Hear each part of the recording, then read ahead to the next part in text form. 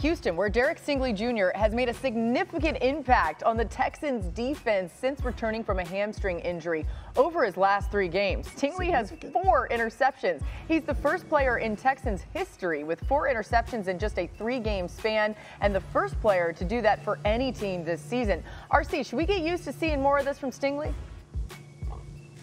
Absolutely. He's an elite talent, and he has been since the age of 15. Let's check the tape. Here you're going to have a quarters coverage. He is deep and outside. One of the guys is going to eliminate himself from the number two position on the out. Watch Pitre be beat on the up and out, and now he's going to get up the field. Stingley's going to attack the top shoulder, but he's going to do that while locating the ball. This is the elite level ball skills that got him drafted in front of Sauce Gardner. Here, watch the play recognition. They're going to alert the screen with number one, and you're to see the fake block by Engram. And as he gets it to the slant, look at Stingley's eyes here. Right back in on the quarterback. He's to take another upfield angle. It's a bad throw by Trevor Lawrence to the inside. Easy interception. And here's some of the elite skills that he could show even when beaten. Some of these ball skill guys, right? They're to have their eyes in the backfield. Look, he's beat on the out and up. Watch him get back upfield. There will be no looking back at the quarterback. He's to chase the hands, understanding he's out of phase, to play through the hands,